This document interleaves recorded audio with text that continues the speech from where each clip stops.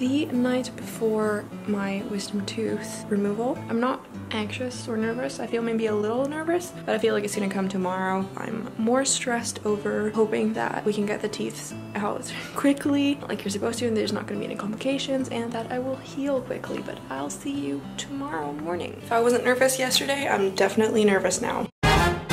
Yeah, but it's gonna go well. Let's go. This is the fit for today. And I need to head out the door ASAP because otherwise I'm gonna be late.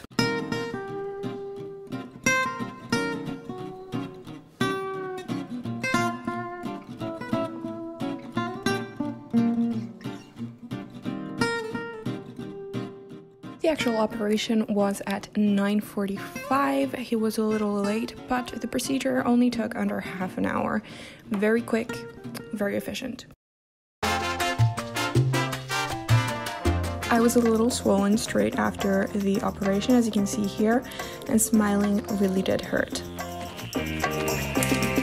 I got back home, and I'm gonna change the things I have in my mouth.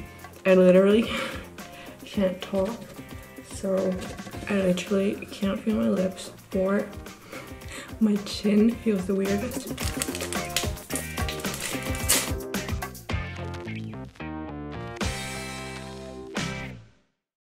We left straight to the summer cottage after the operation so that the numbing agent would still be working, but it stopped working after two hours and I couldn't drink or eat for two to three hours, so I was suffering until I could take my pain medication.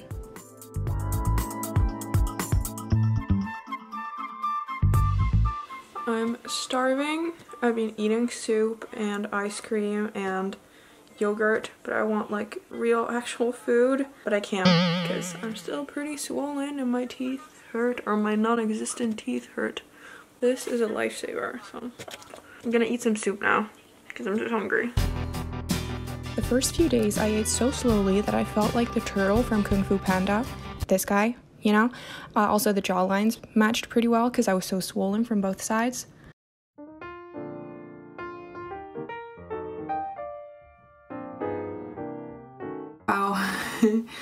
I do look like a chipmunk on this side. I am hurting, but not that bad. It's like a 3 out of 10. I've taken uh, pain medication, but anyway, we're gonna go to bed now. I'm just gonna leave it as it is. Hope I'm not gonna wake during the night and be in pain. I'm not supposed to brush my teeth apparently. I'm not actually sure what I'm supposed to do. This is what I'm gonna use. It's like a mouthwash. I hope it doesn't sting too bad. Cute color. Let's brush our teeth, shall we?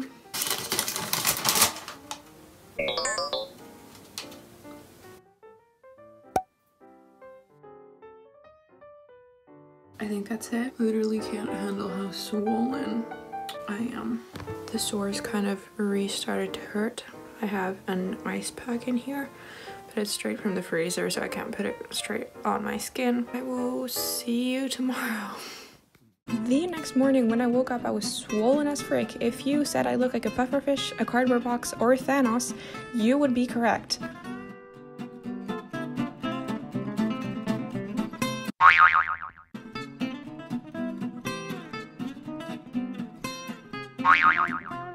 I am more swollen than yesterday, as you can probably see at least from this side. Can't see it as well on camera as in real life. And I'm still eating my soup, but today I'm trying to warm it up. Not, It's not hot, but it's not cold either.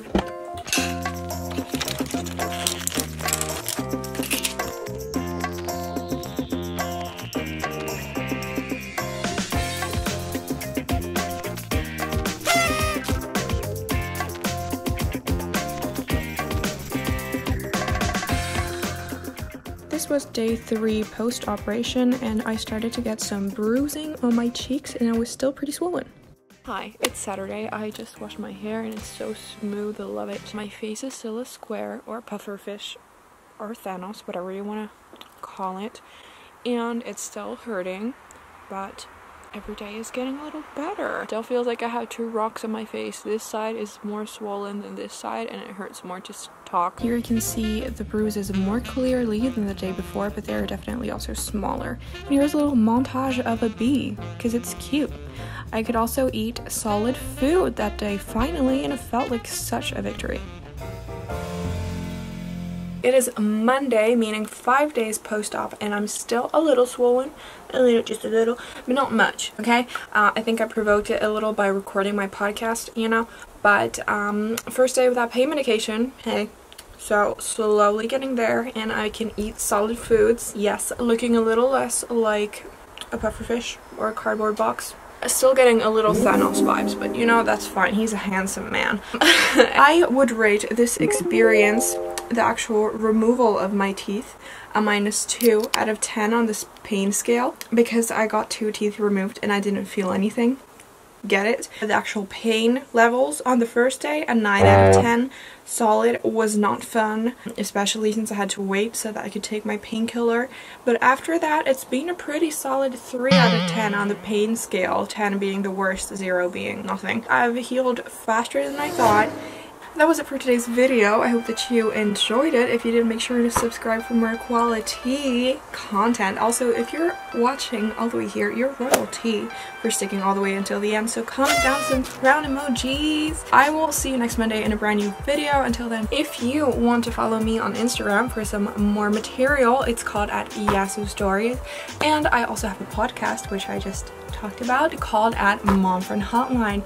I think today just came out a new episode, so you should definitely go and listen to that. Hopefully I'm not a pufferfish in the next vid. See you, bye!